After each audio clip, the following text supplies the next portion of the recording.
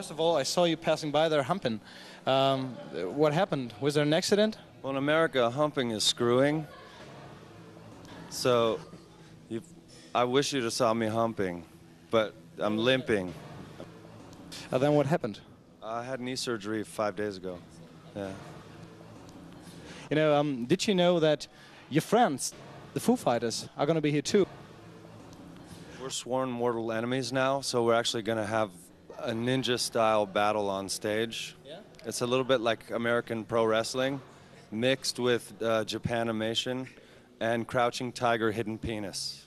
Okay, but you're together on stage. That's the main thing. That's what's important. You, um, if the people see your show, what would it change their life?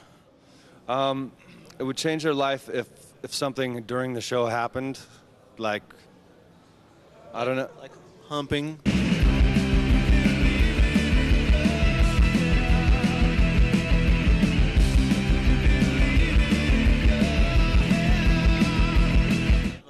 Musical movement that we're trying to start, sort of like emo, but not as goofy. we're we're not calling it emo, we're calling it lamo. Yeah. Trip jazz, It's like a hip hop, deep house, death metal. trip jazz, uh, trance, vibration, goa. Former. When you turn into something else, yeah. It's gonna be good. Form of a dump truck, and then a half aeroplane, half dragon, Yeah. sort of like that. We dropped acid before this interview. Can you tell me uh, something about your backstage habits? Uh, we uh, we always pray before every show that it won't suck, and basically that's the routine. Does it work? No. Did you hear about the festival? What's what's going to be here? Uh, well, I knew which bands were playing.